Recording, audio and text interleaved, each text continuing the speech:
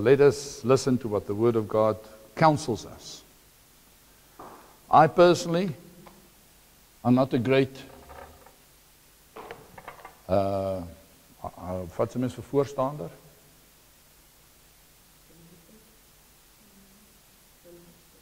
I'm not a great promoter of counseling, although I come from the counseling world. This is where counseling should take place most, mostly.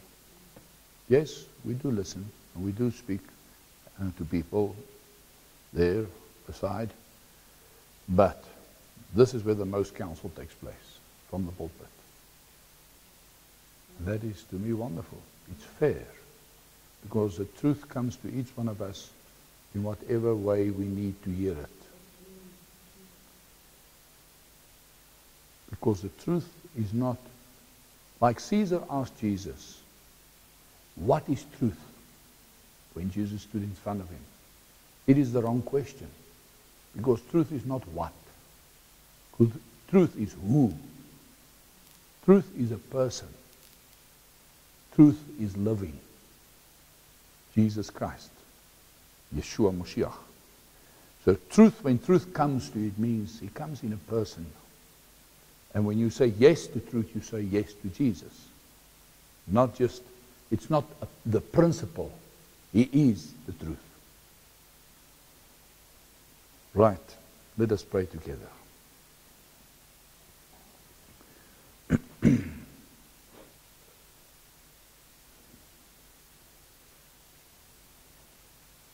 Lord, there's no way that we can impress you. There's no way that we can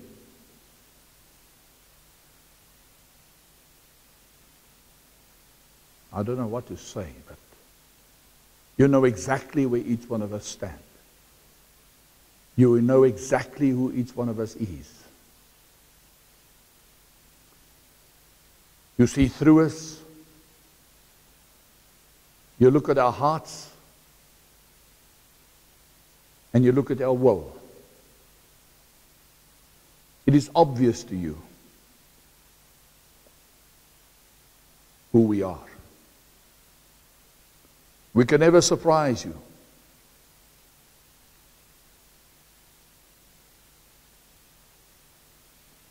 And therefore, we ask, Lord, that you will come with your eyes of fire eyes of fire and light and love. And stand before each one of us. And as you put us in the balance, Kadesh, we pray, Lord, we will always be, be found wanting. We pray that you will Put your Son, Yeshua Moshiach, as our atonement before you.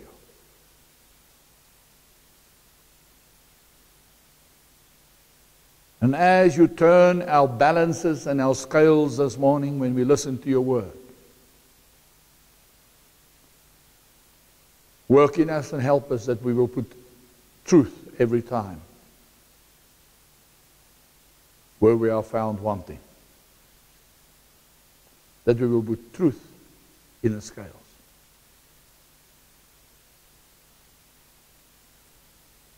Your word says that truth saves us. Your word says, when you spoke to your disciples, you, you said that it is your truth that has sanctified them. Therefore, we pray that you will sanctify us this morning as we listen to your truth. Work in and through each one of us that your name and your character will be blessed and worshiped and reverenced and embraced and cherished, loved with our whole being. Work in us, Lord, we pray. Turn us. Turn us that we may serve you. Work in us that we may serve and worship you with all of our hearts. In Jesus' name, amen.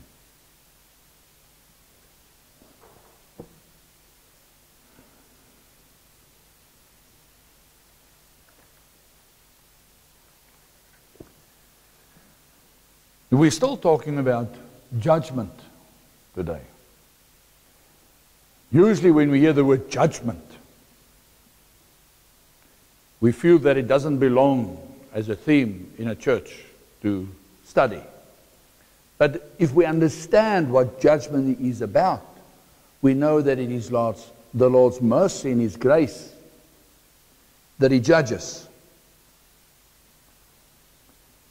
Now the question is, why do many Christians make so such so make so much wrong choices or decisions? Many times, not always, but many times you see that Christians make obviously wrong choices. What do I need? What do we need to make good choices or good decisions?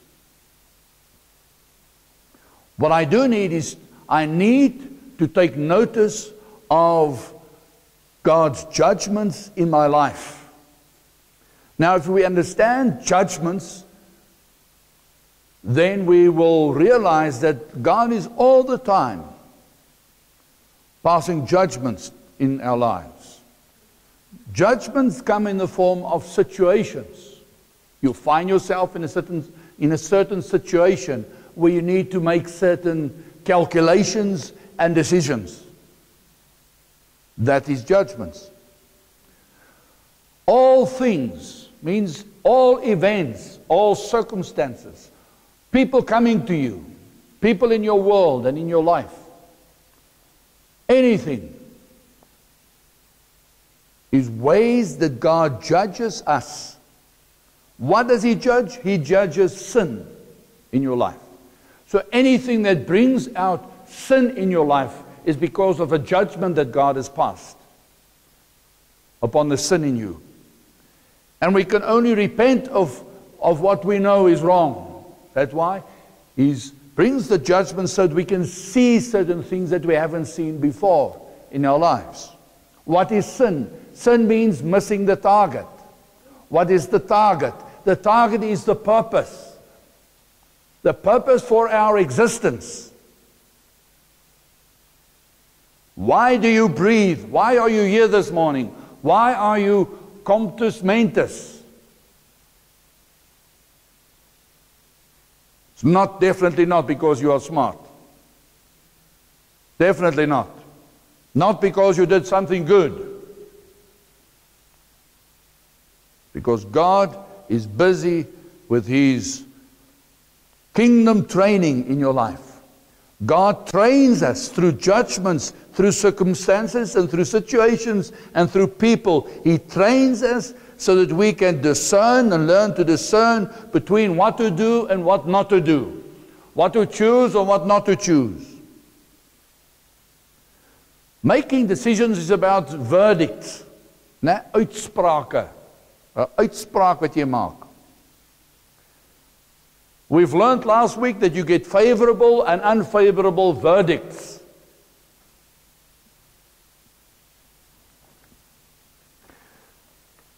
Last week we've learned about, uh, we've uh, read Proverbs chapter 1, verse 3. I'm just quoting it to you. We read there, receiving instruction of wisdom, justice, judgment, and equity.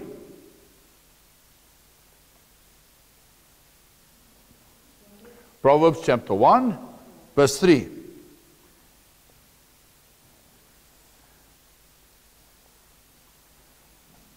The symbol of the kingdom is a four square.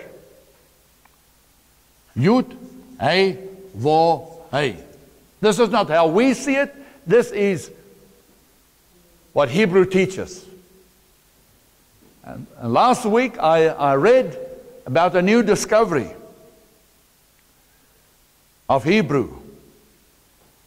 And they estimated that the pictographic Hebrew alphabet is at least 4,000 years old. At least.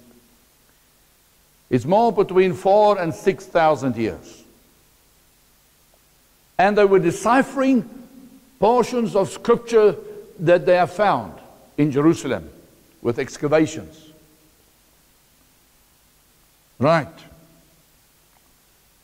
Last week, I showed you and I explained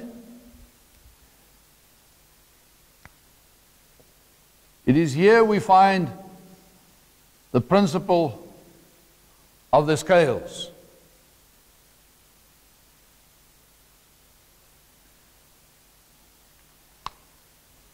With the principle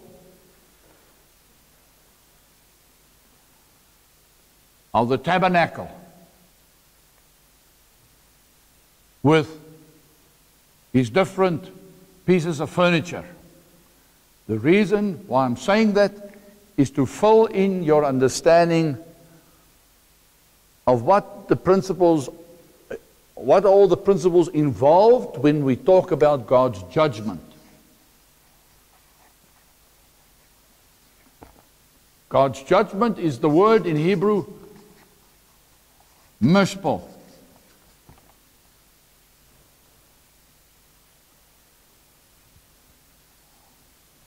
We've just read there in Proverbs 1 verse 3, receiving the reason why the book of Proverbs was written down for us, and the reason why the whole Bible is written down for us, so that we will receive instruction in wisdom. He says, justice, justice, judgment,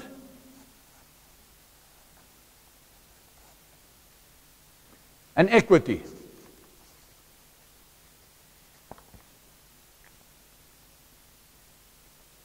Equity comes from the word equal.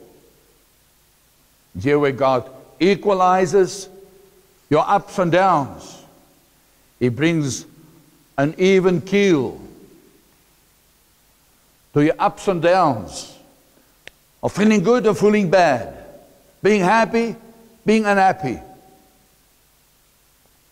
moving on your house, on your mountaintop experiences, and growling down here in your, mount, in your valley experiences. God wants to equalize it by taking you through life experiences and balance you out through his judgments. While you are standing here in your, in your body, there's a whole system going on, according to science. Now, if you will look to me the way that I'm explaining with my hands, how does an atom work? An atom has inside of it a kernel, and around it runs electrons and neutrons. Electrons and protons and neutrons. It's going on like this in one atom. You consist out of millions of them. Out of millions of them, there's a running clockwise and anti clockwise. That is the movement of life. Now, when we talk about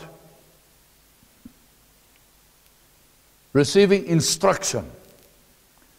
In what way does God give us instruction? He uses the written word, the Torah, the written word, the written principles that you have on your lap. That is the one side. And God uses the unwritten Torah, which comes through nature, that comes through life, through experience, through events in life. Life in itself is a book, is a Torah. Life in itself has got instruction in it. And both are written by the same lawgiver. Is God Himself. Because those two books, the books of nature and the written book of God, they are one, one voice. So all decision making, this is where you are. All decision making is about God's kingdom. It's about kingdom building. So many times we hear about kingdom building. God builds and wants to build and form his character because it's about his character, his nature, that he wants to build and that he's building inside of us, in our lives. It's talking about kingdom living.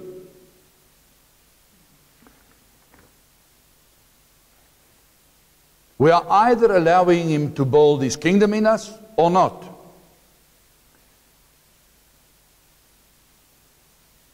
All right, now how does God do it in practice? In the Hebrew, the word talks about extremities or, or uttermosts. Uttermosts. In Hebrews, is it chapter 7, I think, verse 25? I'm, I stand under correction. It says there, if you check it, just say yes or no. Uh, it says there, Lord, save me. So it's Hebrews chapter 7, verse 25. Save me to the uttermost. Red my tot die uiterste toe, Here. That is to where God wants to save you. Because if you do not allow Him to save you to the uttermost, you will fall away. The uttermost, the word in Hebrew for the word uttermost means corner. So save me and take me to every corner in my life. The corners in your life are the extremes, the ends of yourself. So God will take you to the ends of yourself, to your corners, so that He can save you to the uttermost. I hope that is clear. Because so many times I've grabbed my own head and I said, Lord, you are now taking me to the end of myself. And He says, Wonderful at least you understand something. I will definitely take you to the end of yourself. I will take you to every corner in your life because I want to, my name is hidden in that corner and I want to reveal my name in that corner to you and I want that name to be built into your life, into your character. Do you want it or don't you want it? So the uttermost talks about the extremities.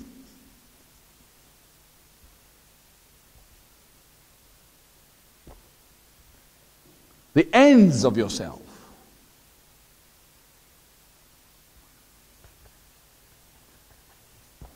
So now, I hope that answers your question. Because the questions in Christianity is, why does God do this? He's breaking me. Yes, all right. Carry on. What is your question? Why is God taking me to the, uh, to the uttermost in my life, to the extremities in my life? Because God is building his kingdom in your life. Where is God in my circumstance? He is there. In the corner. Find him. That's why we had that message. How to seek God. And many times God is not in the extremes and in the uttermosts or the ends of our lives. Many times He, he comes to us in small events, small reactions, small incidents, things that we think is irrelevant to the kingdom. And then we miss it.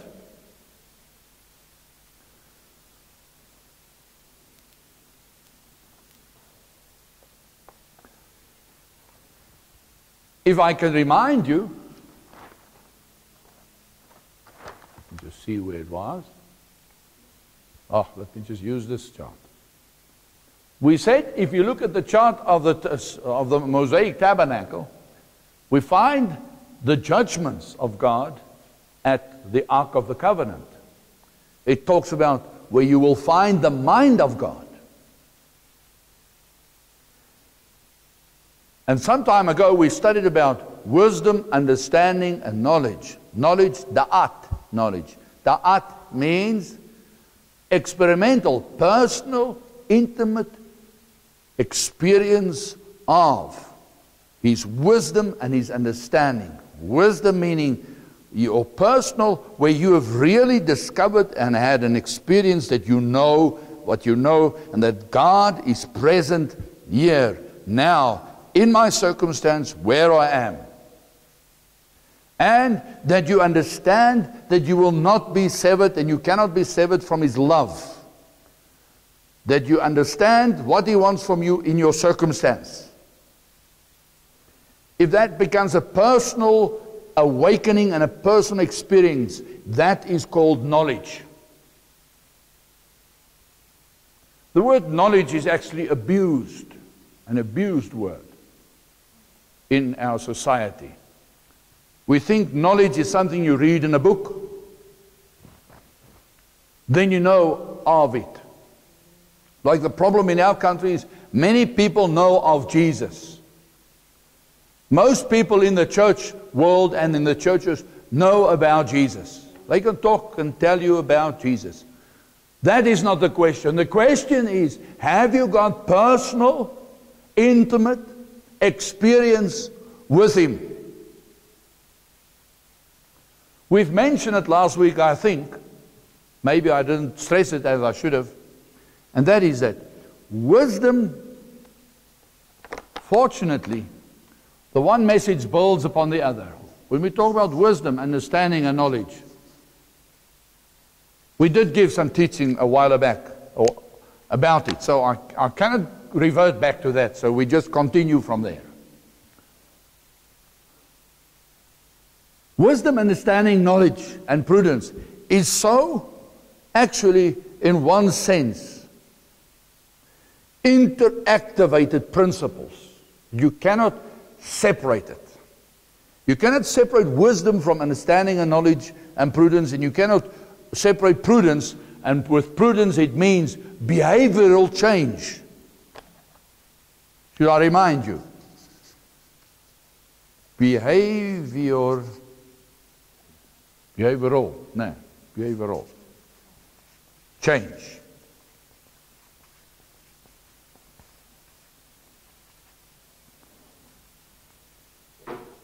It happens here in the fourth corner.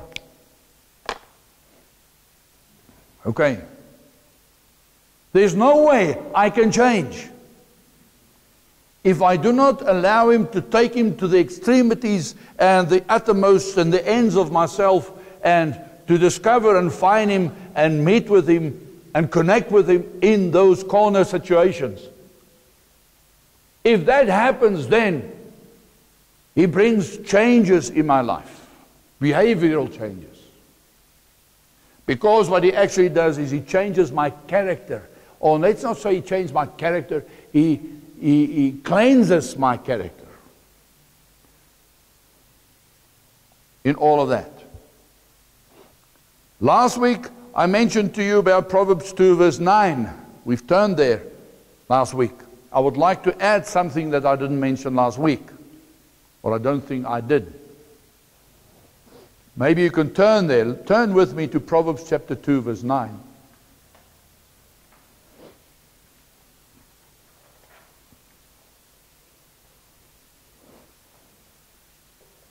Proverbs 2, verse 9.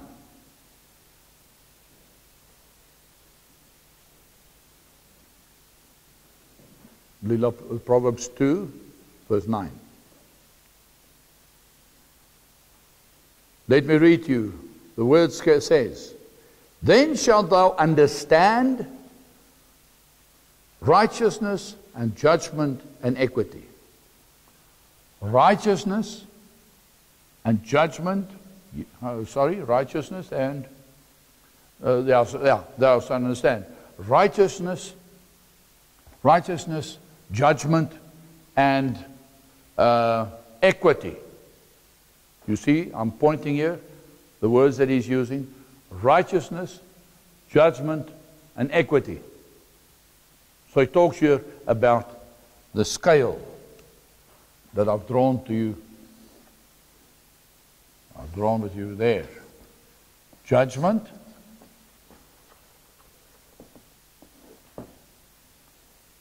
Here we find understanding, uh, knowledge, prudence. Is that right? Yeah. And wisdom here. Let me just do that. And then he says there, Yea, every good path. Now, if you read about Buddhism, you read about the good path. If you read about humanism, which I studied at varsity, you study, they talk about the good path. What is the good path? What does the Hebrew say? What is the good path? The good, I mentioned to you last week, means functional and purposeful. Meaning all that man seeks after, you will find in functionality and purposefulness. So he says, if you want to know what is functionality, functional and purposeful, satisfying, which is the same word, satisfy, fine, satisfying, anything that gives value. Man wants value, but man seeks man. A man seeks man to give him value. And sometimes man give you value, sometimes man doesn't add value to you. That's the wrong place to look for value.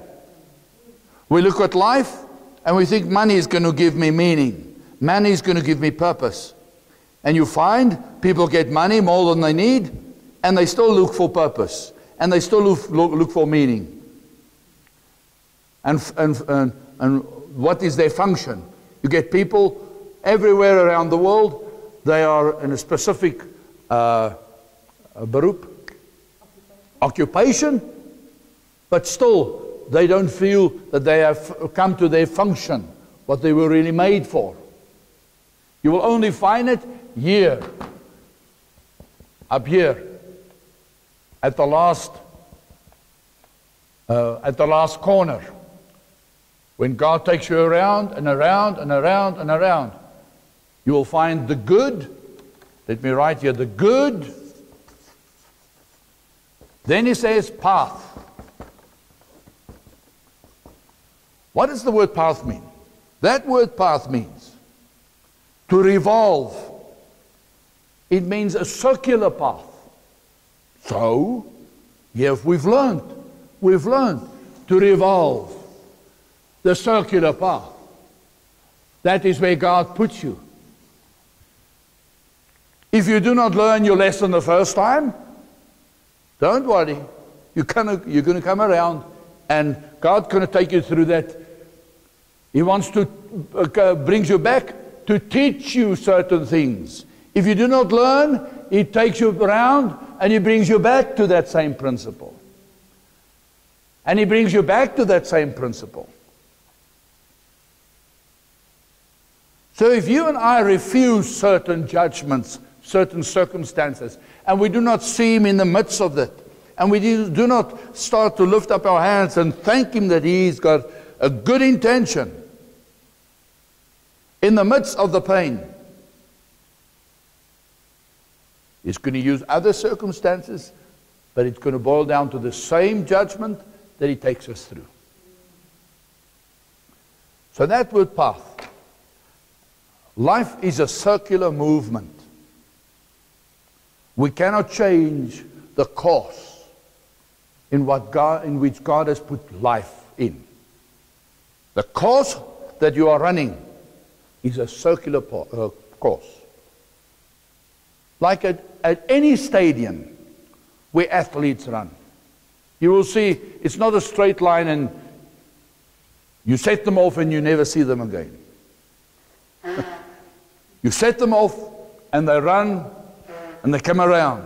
And they run and they come around. And they run and they come around. This is life. Life. Life is a circular racetrack is the real word. Paul uses the word racetrack. It is a circular racetrack on which you are. You cannot change it. If I can give you good advice, listen and learn. I remember when I was a child, there was a, a I, I liked those magazines a lot. Look and learn. I would, if I had pocket money, I would buy them and read it. Look and learn. Look and learn. Very good advice. Look and learn. A good path. A path that will teach you what functionality, purpose, satisfaction, and values about. It is a path of life, a circular racetrack. If you don't learn your lesson the first time, it's going to bring you around many more times till we learn. It's going to take you to the extremities of yourself, to the ends of yourself, whether you like it or not. You're either going to perish in it or grow his kingdom or his character. That is the message to any man and to any person. Last week we've learned that God brings these, He takes us to our extremities. Remember, we were talking about these corners. He brings us to our extremities so that He can uh, teach us how to make certain decisions.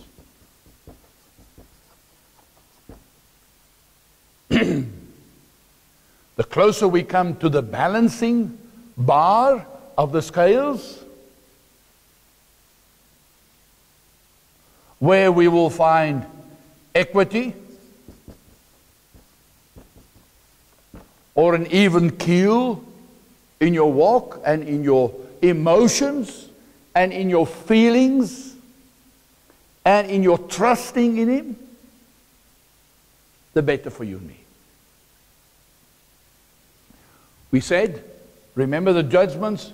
We, uh, we, uh, I referred you to the. Uh, Mosaic tabernacle, and I referred you to the book of Revelations, where he talks about the ox that we find, the head of an ox that we find at, judge, at the judgment seat. And from there, I referred you to the Hebrew alphabet, which is the ox head. Can you see it from there? talks about the Aleph principle. God is infinite, limitless.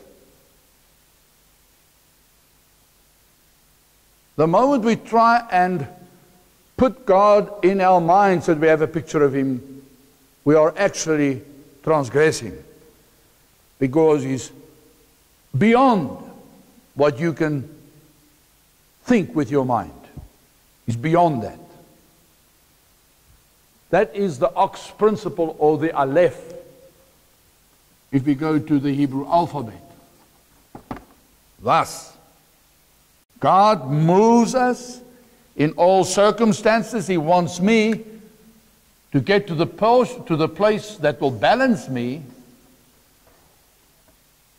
where I come to the realization that God is now, present, in my circumstance, here where I am.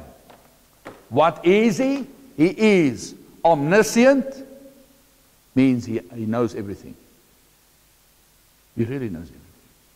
He is everything. He is omnipotent. It means he can do anything. And he is omnipresent. You know, if you just think about those three terms, terminologies that I've used, and you think about your circumstance, it is obvious that God allowed it for a very good reason. Because he could have he could have safeguarded you from it. He could have protected you from it. He could have made you made other decisions that wouldn't have brought you where you were now. Or he could have worked in the other people around you, the role players around you, in their minds so that you wouldn't be in the predicament or the situation or the end of yourself we are on now. Or good, God could have put you in a different circumstance, but He didn't. You are where you are now. So the best and the most wisest thing to do is get grips to your, uh, on, uh, get to grips with yourself and say, God has me here. This is judgment. I must see what he is aiming at. I must see the things coming up in me, the sin coming up in me, where I miss my purpose. I must repent of that. Because that is what God firstly wants of me. We want the circumstance to change. We want my finances to change immediately. God says, start and focus on the first things first.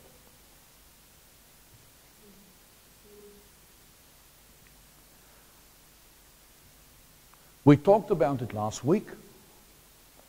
I'm actually doing a revision.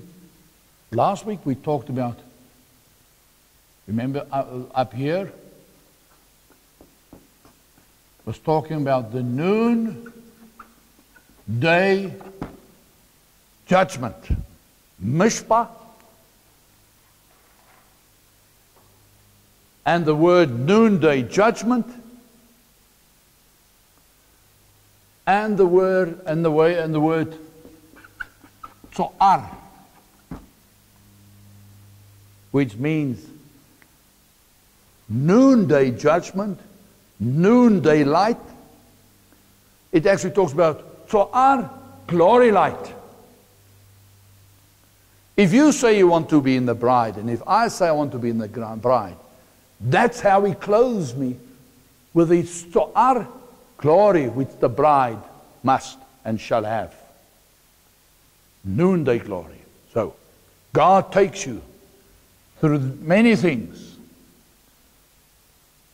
where you can either clothe yourself by making the right choices and seeing what He's after and repenting of it and trusting me in the midst of it, in that way, clothing yourself with His glory or not.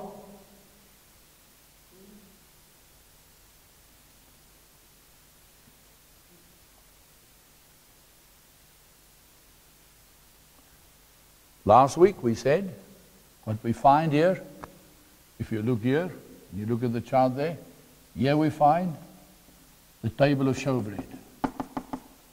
Here we find the candlestick.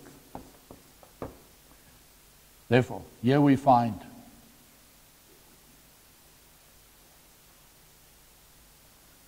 we said here find love here where you find life, is here where you find light. My dear friends, my dear brothers and sisters, I'm not writing these things because this is what I think. If I can take you through all the studies, you will know this is what we find in the Word of God. Find life when you eat the bread of life. You find His love, you come to the ultimate judgment seat. He does it because He loves us. You find light and you start walking in the light of his candlestick, which is the 66 books on your lap. The candlestick consisted out of 66 portions, 66 knobs, bowls, and flowers. You can go and study it. Google it. The 66 portions of light that you need is the 66 books. That's the total books on your lap. And you and I need to walk in, in that light that you receive from those books. Okay. A whole library of books. That's what Bible means. Biblia means a portion of a verzameling, um, collection of books that do not contradict themselves, that had been written over 1,500 years, that were wrote, written by more than 40 authors, talking about controversial subjects, controversial subjects, but never contradicting one another, without them conversing with one another about the subjects. And I can carry on and carry on and carry on that way. So, to our light that comes from the judgment or tzohar glory light that he wants that he clothes his bride with. Let me write down here. Bride.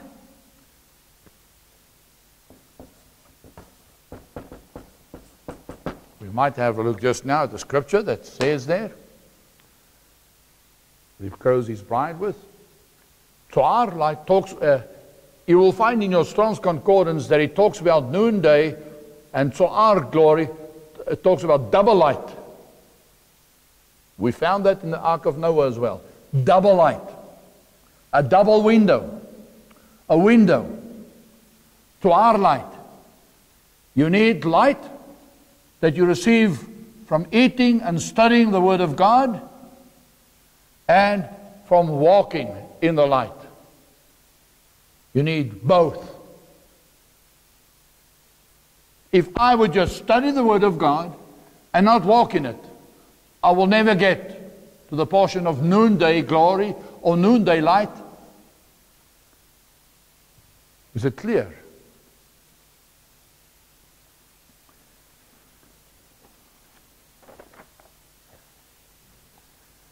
Now, my question when we started off is why do Christians make, many times, not always, why do they make stupid and obvious wrong decisions? Because of false teaching. The false teaching that goes around is that all negative things come from the devil and all positive things come from God. All negative circumstances and things, whatever you can put under negative, uh, comes from the devil, and everything that you, you as a human being can put under good comes from God. That's an utter fallacy and a lie. Because good needs to be defined, God needs to define good for you, and God needs to define what is negative and evil for you. Then you'll come to a completely different conclusion. All things are God's good judgment to lead and guide you in a good path. So you and I can get more and more to functionality, satisfaction, purpose, value as we run in our circular path. Even those that do not serve God and don't even, they are not even interested in His, uh, to know about His existence, they are running in a circular path way, a race course as well. So whether you accept it or not, you are running. So let's turn to Psalm chapter 19 and, con and continue our study uh, from the Word of God from there.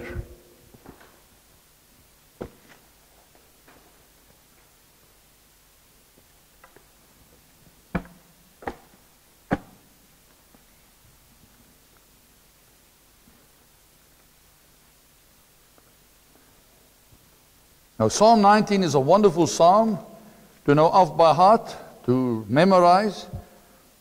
But let's just talk about a few verses in Psalm 19 concerning judgment. Verse chapter 19, I'm going to read with you from verse 9 to verse 13. The fear of the Lord is clean, enduring forever. The judgment of the Lord are true and righteous altogether. More to be desired are they than gold, yea, than much fine gold. Sweeter also than honey and the honeycomb. Moreover, by them, what is them? Judgments. Is thy servant warned, and in keeping of them there is great reward. Who can understand his errors? Cleanse thou me from secret faults. Keep back thy servant also from presumptuous sins. Let them not have dominion over me. Then shall I be upright and I shall be innocent from the great transgression. Right, let's just stand still a little bit at these few verses here. He starts off there in verse 9, he says, The fear of God, the fear of Yud He Vo He, is, meaning now, now, in your, now, where you are now. The fear of God now, if you have the fear of God as the word intended to have, now he says the fear is clean. The fear of God is clean. Now, the word fear is a word that we've previously, previously dealt with, is the word yara, yara, yud, Resh, and Aleph.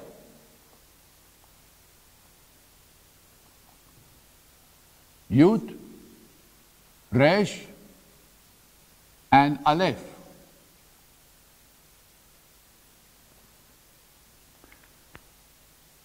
The fear of God is the word Yareh. So, it means that the fear of God means where I am now, right where I am now in my life, I must know that God is infinite, infinitely small where I am. Although He is infinitely great, but I mean, you do not see Him. So He's, and He's omnipresent, present, He's present. Like the, at, like the atoms are present. That is what the youth refers to, like the atoms. All of creation, everything consists out of atoms. Okay, so in your circumstance where you are, He's present with your mind and your reasoning. You allow Him to guide your mind and your reasoning. The fact that he is present. And the fact, once again, that he is Aleph, is present, is the beginning. That is called the fear of God. So the fear of God is not something that you say. You, can, you do not say, I fear God. In your thinking, you are reasoning that God is present. God is here. God is now. God is omnipresent, He's omniscient, He's not omnipotent. And he says, the fear of God is now clean. That word clean is the word toher. The word toher you will find here as well. Or tohar, or tohor, toher. You'll find at the judgment, at the word judgment. It's the word clean. We're not going to turn now to, wait, let me quickly turn to keep your place there to act uh, uh, uh, Revelation. Revelation chapter 20, uh, chapter 19. Revelation chapter 19. Verse 8. talking about the bride. And to her was granted that she should be arrayed in fine linen, clean to her hair. To hair will take you to the word tzohar, noonday, fine and clean, né? and white. For the white linen, fine linen is the righteousness of saint. And verse um, verse 14 talks about it as well. And the armies which were in heaven followed him upon white horses, clothed in fine linen, white and clean. That word clean is the word tohar, once again.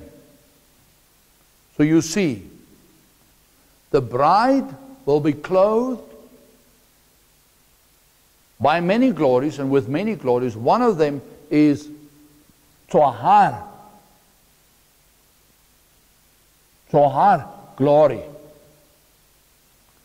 How will she be clothed? As she had been taken in life through the extremities and the ends of herself in this life as she was taken through many circumstances and things. And she chose him and followed him according to his principles. She get clothed with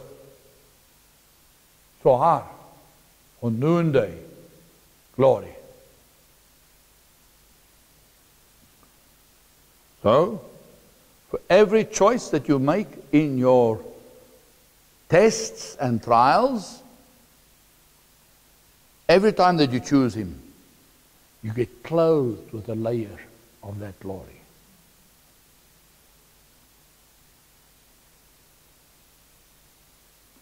So you need the fear of God. And I need the fear of God to be clothed with the bridal garment. How do I get the fear of God? We are going to learn here through his judgments. We get the fear of God by him judging you and me.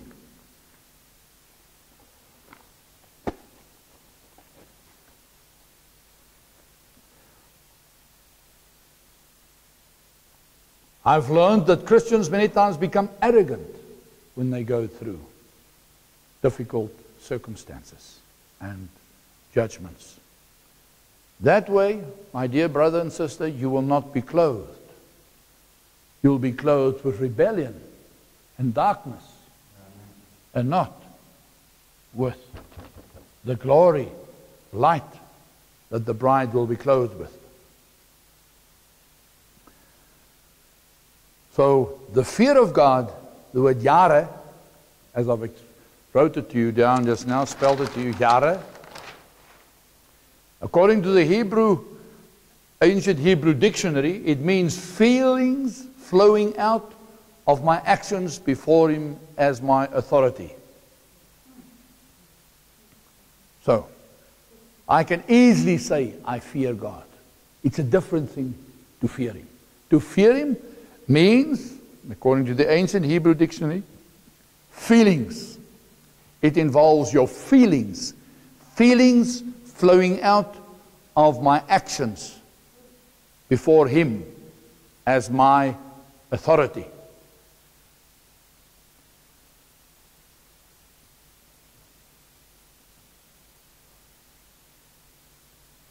Feelings flowing out of my actions before Him as my authority. So it's not a thing of my mouth saying, I fear God. The feelings in my actions. It means the nature of my actions.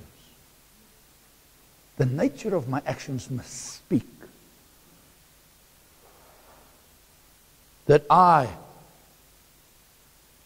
reverence Him as the authority in my circumstance where He's taking me through the ends of myself.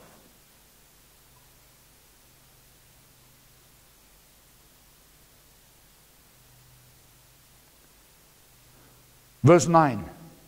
Let, let us continue with that. The fear of the Lord is clean, enduring forever. The judgments of the Lord, which is Mishpat,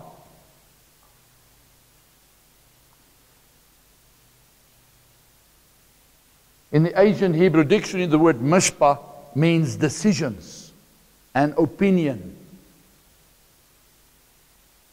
You've got an opinion, God has got one as well.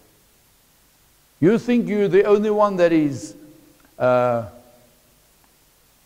de opinie that is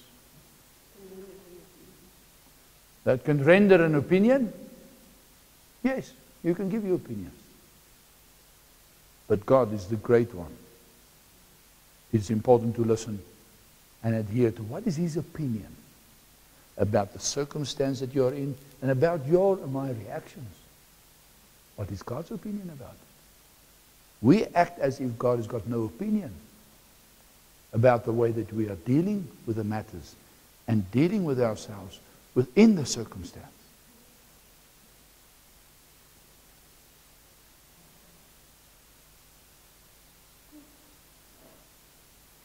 The root word and the root meaning of mishpat.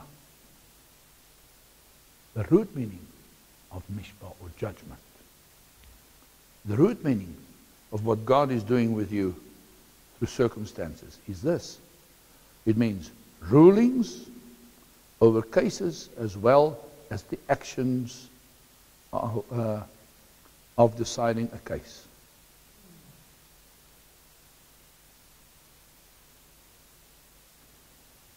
He says here in verse 9, the Word of God says, the judgment, judgments of the Lord are true and righteous. His judgments are true and what? And what? True and righteous. True means, it not means, it is the word emet.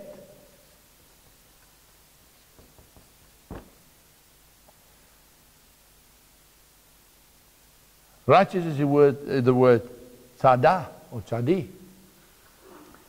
What does it mean, emet? I spelled the word emet to you so many times. Let me just write, spell the word emet to you which is the word true. In ancient Hebrew pictographic language, Aleph, Mem, Taf. His judgments are true. That's why we said last week you can have your opinion over your circumstance, but you know what? It is based on truth. And it's based on right. It is the true thing that you need, and it's the right thing that I need.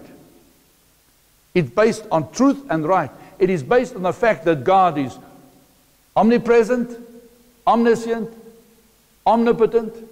It is God's judgment, and you need, and I need, to take up our cross and die daily.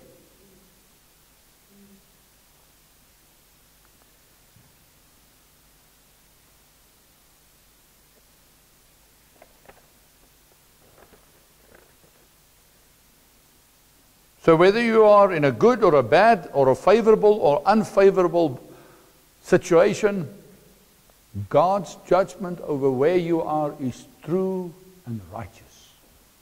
What does he say? All together. Not just the one, not just the other. It's a balanced decision that God has made. Verse 10. Oh, I think we should, in the old time we would say typics, typics. Today we would say delete verse 10 out of it. Because it says there, his judgments, more are they to, be desired. More. Verse 10. Verse 11 goes on and he continues with judgment. He says, Moreover. So the Here is coming from to, to be strong about it, and even more strong about it. So in verse 10 he says, More, these judgments, more are they to be desired than gold. And then he continues there, Yea, than much fine gold, sweeter also than honey and the honeycomb. Now let me tell you, when God had taken me not very long ago to my extremity, to my limits, I know these scriptures. I know them off by heart. I've memorized them. I was like an ostrich when he swallows not a little stone like this, but when he swallows a brick. Have you ever sw- seen an ostrich swallow a brick? he bites on his teeth, and his eyes go ding, ding, ding, ding. And God says, swallow it.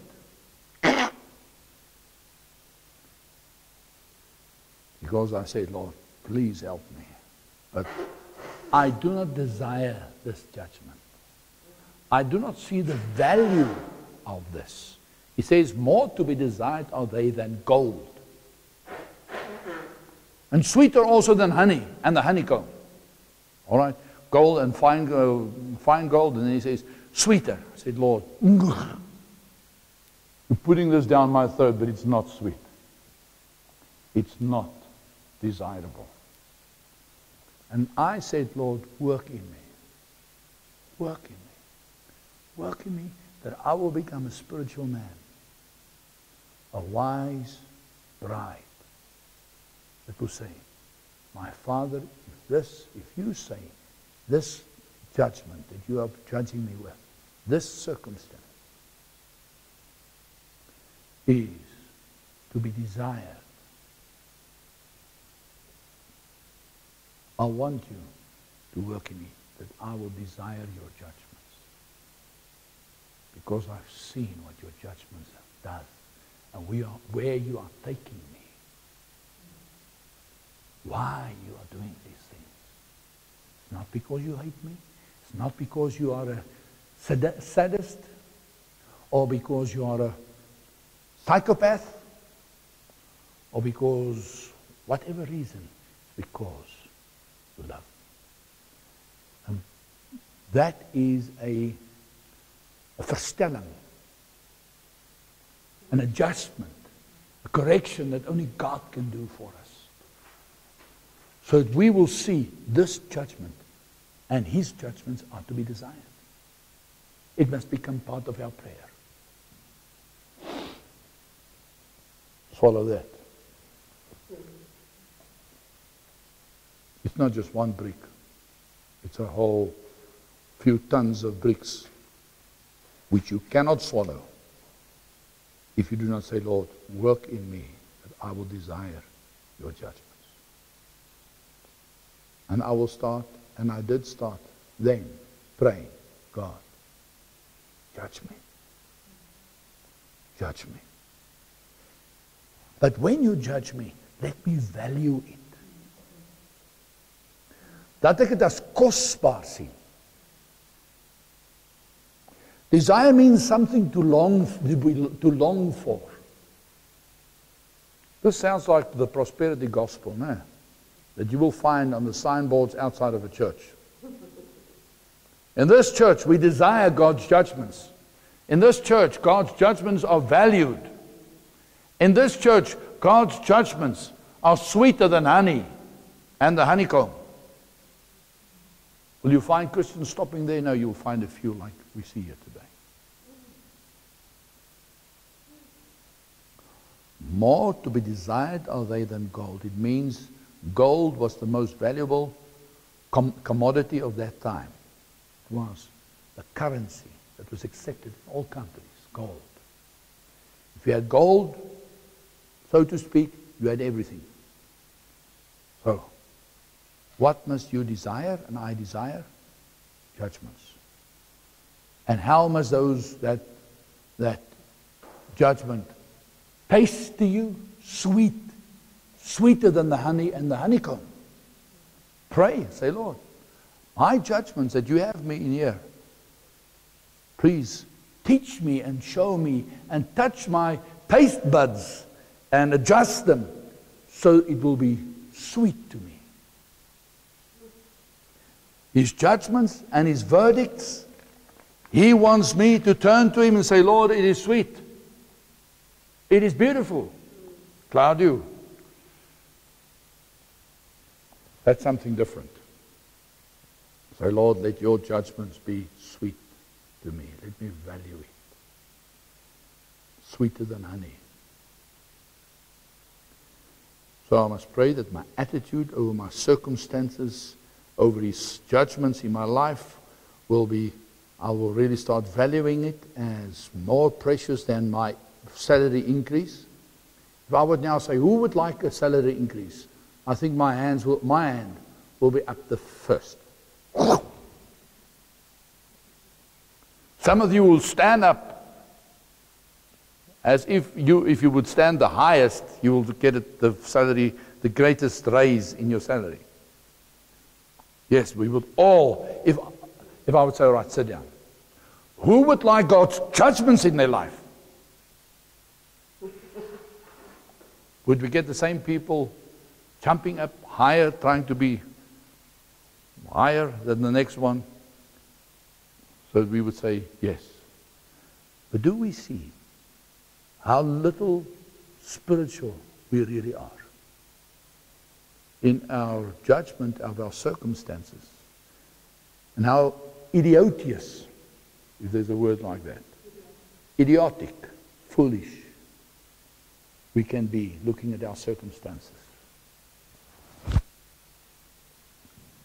Right, then he says in verse 11, moreover, he says over and above that, over and above how we must value our judgments, he says, moreover, by them is thy servant warned, and in keeping them there is great reward. He says, you know what? Or let me put it this way you put value to your circumstances anyway. Because the moment that something bad happens, immediate thing in your mind is, what did I do wrong? Why does this happen? So you do put value on these judgments. And you do know that circumstances are, are judgments. We actually don't need to talk about it. We don't actually need to convince you that that is the fact. Because the moment something bad happens, we immediately say, oh, what did I do wrong? So we're actually saying, I deserve this. Or when something good happens. In Bali, when something good happens, the first thing in us is, oh, I deserve it by now, you know. I'm serving God, I'm choosing Him. I've been saved for 43 years. I've never backslidden. I think I deserve it. That is what comes up in our mind. It's not the right thoughts, but this is what comes up immediately. I deserve it. So, he says in verse 11, by his judgment, I am, I am warned. So my first reaction in a, when circumstances happen, things happen, verdicts, favorable and unfavorable, excuse me, we should say, God, what, is, what are you after? Do you realize that your favorable judgments, your favorable circumstances, are just as much judgments as your unfavorable circumstances.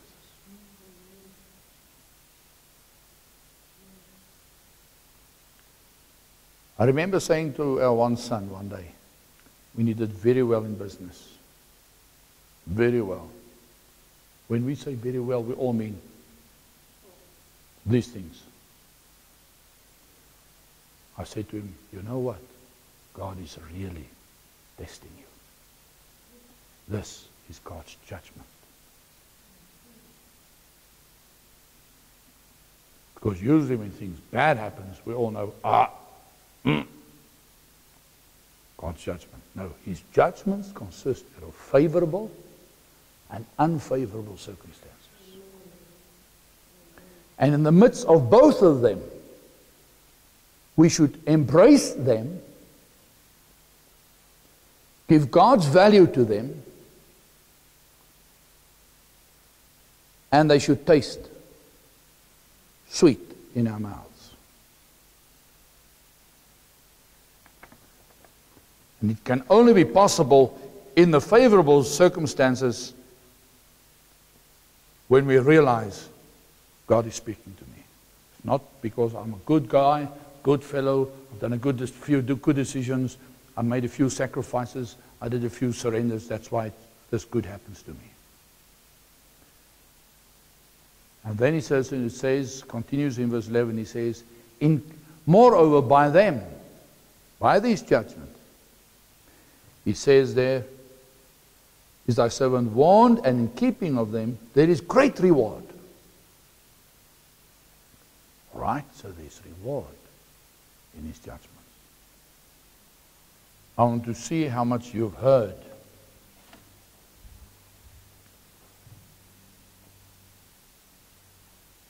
He says that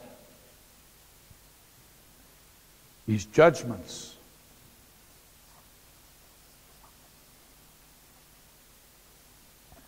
how we must look at his judgments. Have a look in your Bibles and help me. There are four things that we must remember. Start at the beginning. His judgments are clean. Right. No.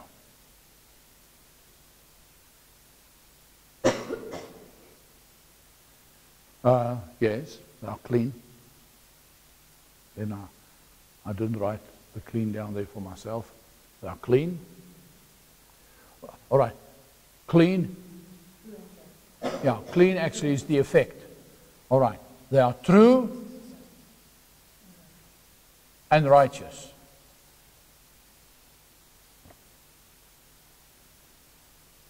What is the second thing? Is my wife the only one reading?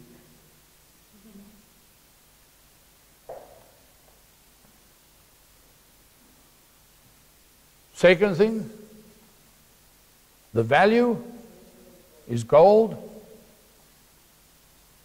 and honey.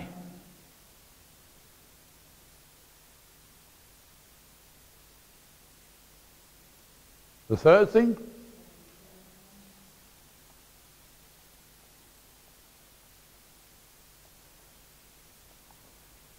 therefore a warning.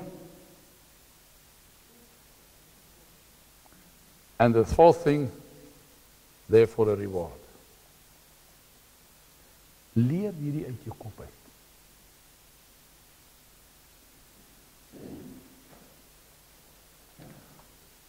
Because remember, we said the fear of God is when you start involving your mind, your reasoning, your thinking, and you look at your circumstances and you say, the Word of God says, My circumstances and these events in my life and these verdicts in my life and these judgments in my life, first of all, is true, righteous. I deserve. I deserve them. Secondly, the, the value, yeah, the value of them is that they are precious, more than gold, and they must be sweet. They are sweet. Although it tastes to me bad and bitter. Now, it is here to warn me, so I must see what God is saying to me. And I will be rewarded. Does he talk there about reward, or what is the words that he uses when he talks about reward?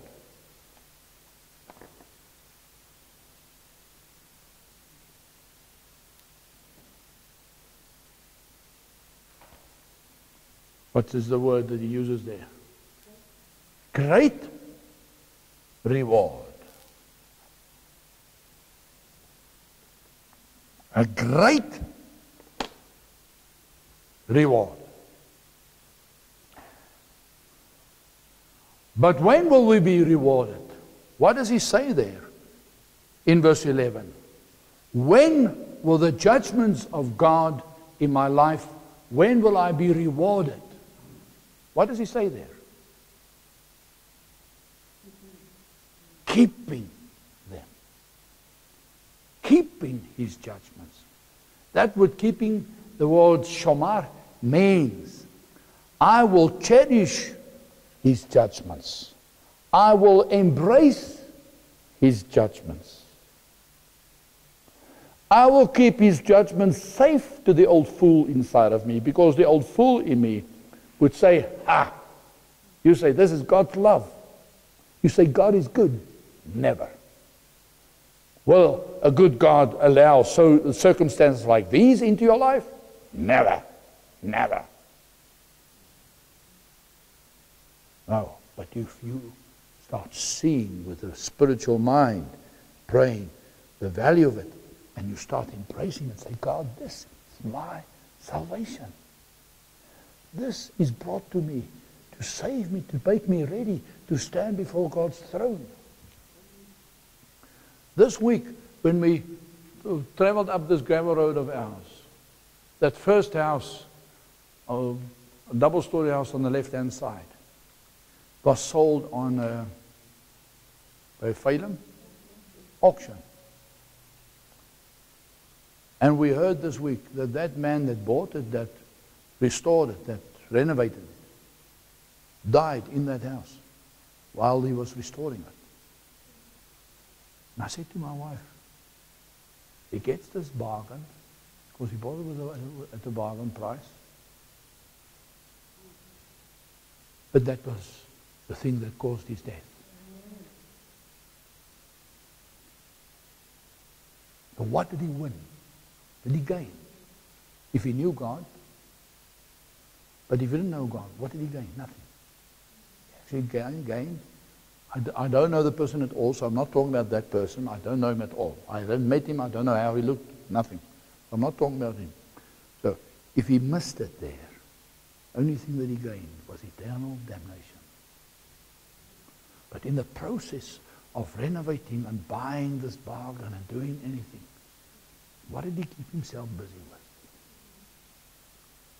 with? In your, in your struggle with the circumstances that you are wrestling with and struggling with, and the different ways of survival that you are busy with, are you keeping that very circumstance, keeping, cherishing it, embracing it? safeguarding it against the fool because you realize, you know what? This is for my own deliverance and salvation. This I need to prepare me to meet him in front of his throne. That word great reward, great means heel the Achilles heel. The heel. It has to do, your heel has to do with walking and it has to do with following. So he says, this reward will follow you. You don't need to go and say, God, I did everything now, and where's the reward? The reward will be standing just behind you and say, Here I am gets the reward.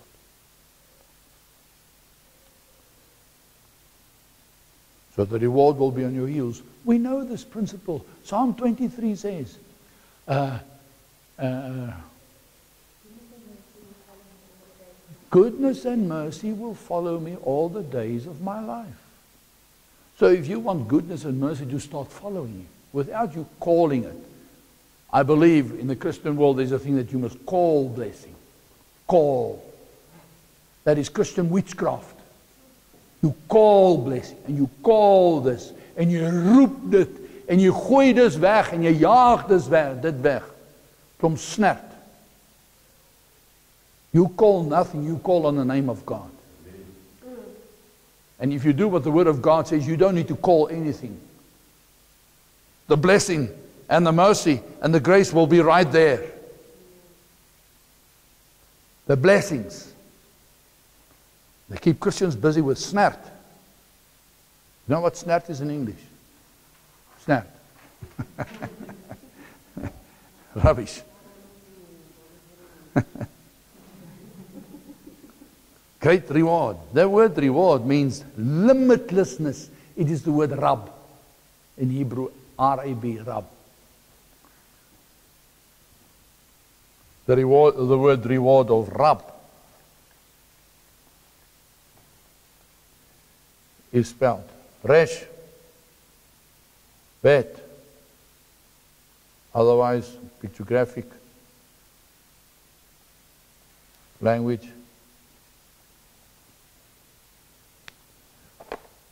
Abundant reward. The reward will be your thinking, and my thinking will be housing God. Because he says there, en I will excel in die huis van die Here bly in lengte van dae. 'n Lengte van dae beteken jy woon in die Here se huis nou. Maar is jou huis 'n spookhuis vol vlermuise of is jou huis regtig die huis van die Here. Are your house the one that you create, your conscience, your mind, your your thinking as we've been explaining it through the weeks and weeks and years and months and decades. I can talk about decades. Is your house a house full of bats and full of what's binnekoppe? Spider webs and dragons or what type of house are you creating? Tell me about it. Tell me how you are thinking. No, I will watch you in your actions and then I will know what you are thinking. Whether you fear God or not. The reward is limitless. Great reward. Reward will follow you. Let me tell you, if some, somebody is on your track and you know that, you lift your heels. We were once in a position that I carried another guy's uh, weapon and ammunition and stuff for him because he was finished. I said to him, We are being followed. You cannot allow, I cannot allow you to sit because you will not be alive after a while. We are followed. Keep on moving. Keep on moving.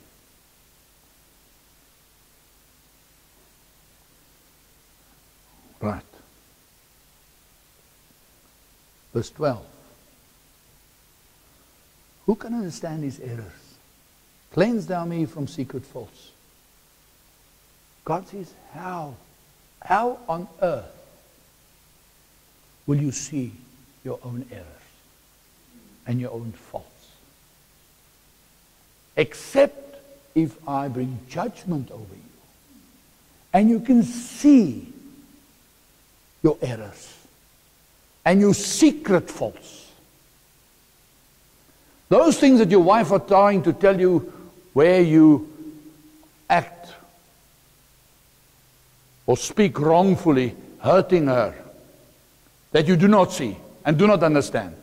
You immediately understand when God's judgment fall on you. You realize, sure, I shouldn't speak this way. I shouldn't act this way. I shouldn't think this way. I shouldn't say these things. How did you come to that sudden realization? Through God's judgments. The moment that God brings you, takes you through a certain battery of events. Sure. Sometimes God has got a whole battery Bum, bum, bum, of events that you go through. when you get at the end of them, you say, All right, I see.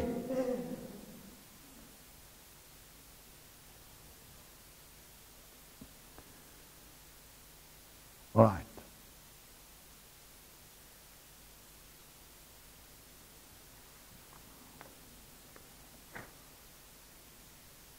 I skip a lot of principles here that we could share.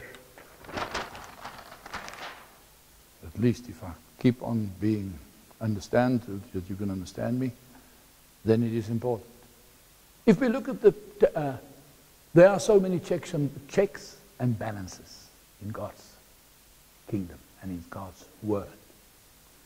If I can just take you along from where we were or where we are now to a different route. If you think about the Mose, uh, uh, if you think about the Hebrew alphabet, which letter talks about judgment?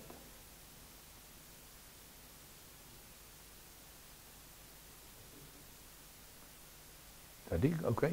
All right. Many of them talk a little bit, but which one talks straight about it?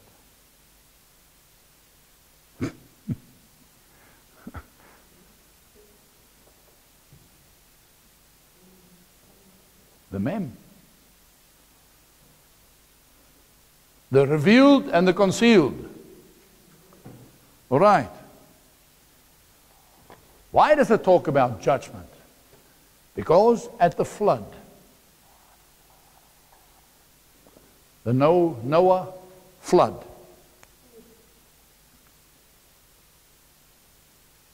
just between brackets, I would like to say this. If somebody might have that false understanding, the flood was across the whole planet. The whole planet was covered in water.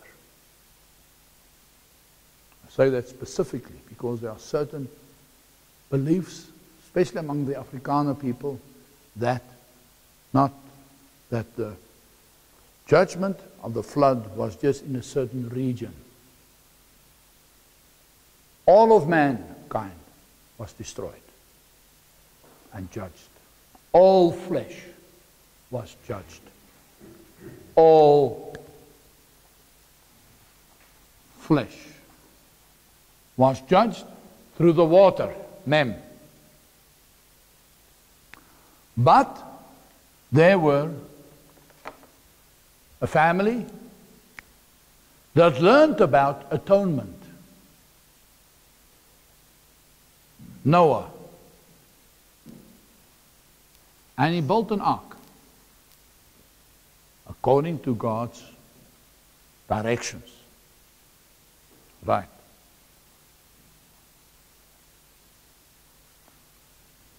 And they survived the judgments.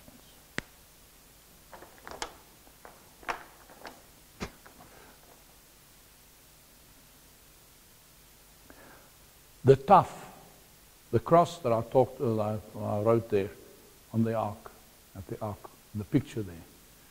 Tough is the word for the ark of Moses' uh, of Noah's uh, ark.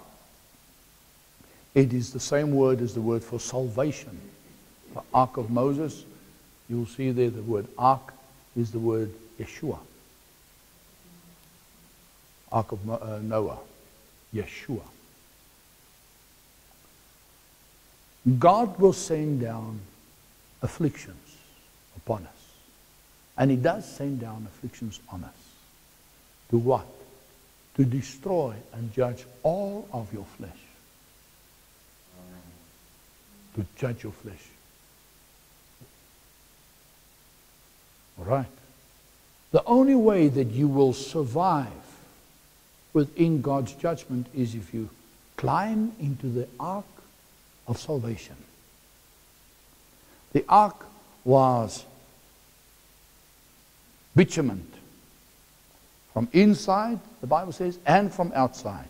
It is the word atonement blood. That word pitch. Atonement blood. With the atonement blood will make you to float above the judgments of the flesh. And did Noah just, just, net gedobber, did he just uh, float? on the judgment waters? No. He was actually on his way to a new creation.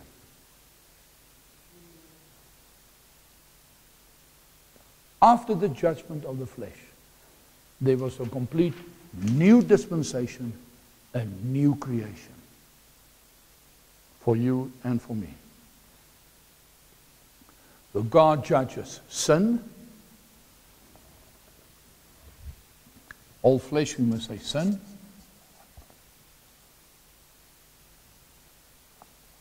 And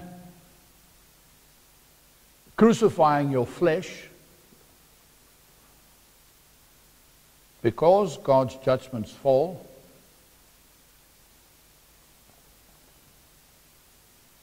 Crucifying your flesh will cause you to float above the judgments.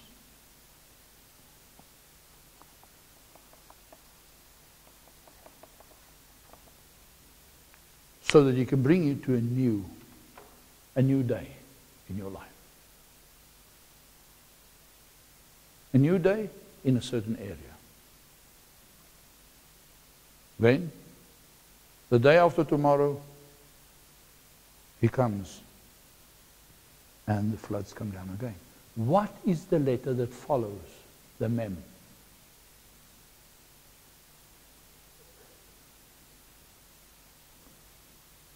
What follows the mem? The nun. What does the nun talk about? We talk about, I'm referring, I'm referring you now to the Hebrew letters here, the biblical Hebrew letters here. The nun, in the, in the beginning of a letter, it is written this way. End of a letter, it is written this way. Noon follows judgment. Right. This noon consists out of a zayin, which is truth. But it is truth when you allow yourself to be bent under truth, when you start lifting up the truth in your life, the end of that is you end up start lifting up truth in your life. When you start lifting up truth in your life, that is when you start walking uprightly. That's what that picture is about.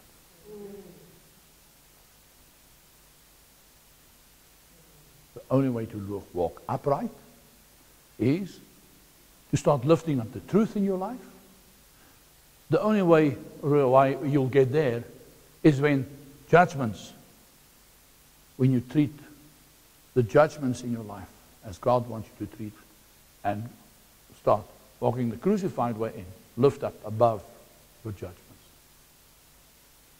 and come to a new creation. Because here, the noon talks about faithfulness, talks about freedom, what is the number of nun? What does nun mean? 50. 50. 50 is Jubilee. Every 50 year, 50th year was Jubilee. Freedom. Deliverance from slavery. Freedom. Deliverance from slavery of sin. You see where it comes from. Judgment. Dealing with judgment the right way leads to freedom, delivery from sin. When was Pentecost? 50 days after the crucifixion. Noon. Therefore, a new anointing of His Spirit. Pentecost. When was the word given to Israel? 50 days after they left Egypt. The word was revealed to them, the Torah, in a new way was given to them. More of the word of God will be revealed to you. There is a price that you need to pay for the word of God to open up to us. To me, this is apologetics in itself.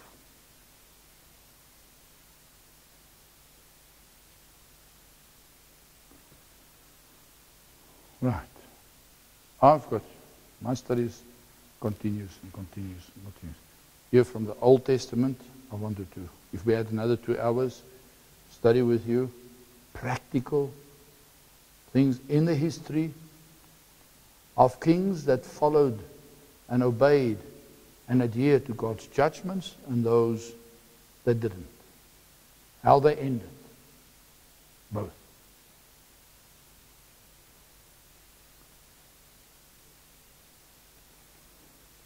If you want God's reward to follow you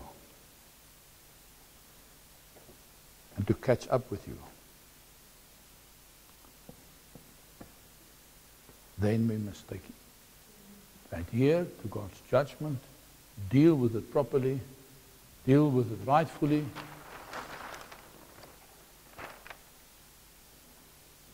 Understand that it is true, based on truth. It is the right thing that God is doing. That is what righteousness means. Based on truth.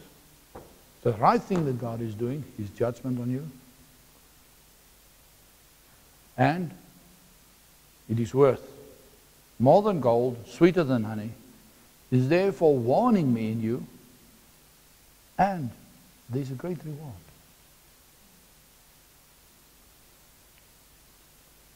Right, let's pray. Lord, Yud, Hey, Bo, Hey. You are the unbegotten one.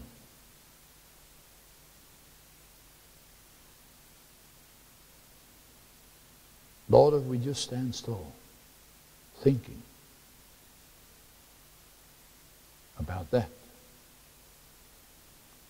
we start trembling within ourselves. Knowing that we do not realize with whom we have to do with whom life has to do with. And why we find ourselves in different circumstances, in different shades of light.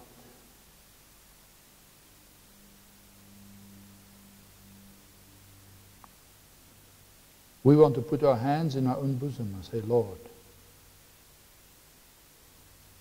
work in me, work through me, that I will look differently to my judgments, your judgments in my life, my circumstances and my situations that I will look and value it and embrace it as you want me to look at it, as you want me to deal with it, as you want me to think about them. Please help me, Lord. It is so contradictory to the way my flesh and self looks and evaluates and judges my circumstances and things and events. Will you create in us your fear?